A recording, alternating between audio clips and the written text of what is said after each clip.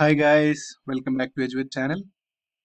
Today we will be dealing with the course outline of Veterinary and Animal Husbandry Extension Education or the so-called extension topic. So we'll be dealing with according to the MSVE 2016 curriculum. So we'll be dealing uh, in extension what is the veterinary and animal husbandry practices extension activities to the field field level application of the basic studies studies studied in veterinary lessons.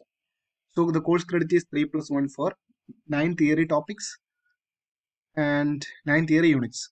2 practical units, 20 marks from the internal. This is the annual exam examination pattern. So in unit 1, we'll be dealing with livestock based livelihoods and their evolution. So the history of domestication, farming, collective farming, different types of farming and roles of animals in the contemporary society and role of animal in the human farming and in 2 that is unit 2 extension education and development. That is early extension efforts in india which was taken by the government and other educational institutions to include education and extension facilities to the farmers knowledge. And many principles philosophy functions of extension education problems and issues in the development and the panchayati raj system. And in unit 3 that is rural sociology and veterinary extension we'll be dealing with the sociology in veterinary extension. That is social control social stratification communication with the farmers the cultures adopted by the farmers and rural sociological issues leadership qualities leadership social changes social institution setup characteristics and difference among the tribal and other communities etc in unit 5 we'll be dealing with the transfer of technology for livestock development. That is many institution has set up many different plans and many technologies. This is actually due to the hard work of these agencies and they will be implementing these to the agricultural roles and agricultural rural areas to improve the production and improve the quality of production. Mainly they will be dealing cattle and buffalo, buffalo improvement programs, evaluation of buffalo, evaluation of the species, role of extension agents in diffusion livestock innovations, and we'll be dealing with the many agencies, AMUL, ICAR, ATMA, KVK, RKVY, Yojanas, and innovation projects conducted by the nation.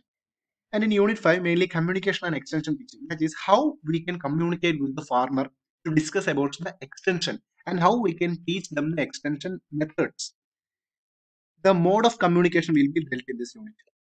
So unit 6, livestock economics and marketing. This mainly deals with the marketing and economical statistics of livestock production and other exposures with the livestock. Marketing functions, market price, marketing agencies, theories of production, theories of demand, livestock economics will be dealt. Unit 7 is livestock entrepreneurship definition of entrepreneur entrepreneurship enterprise manager etc entrepreneurship development programs the project appraisals sole proprietorship partnership types of characteristics of entrepreneur and many deals with the, with the public limited companies etc and in unit 8 is information and communication technology. That is many information technological units in the cyber extension field is present. We have to connect these cyber extension techniques with the farmers and with the so-called rural extension agents. So there are many networking systems. We'll be dealing with the networking system that advantages and disadvantages.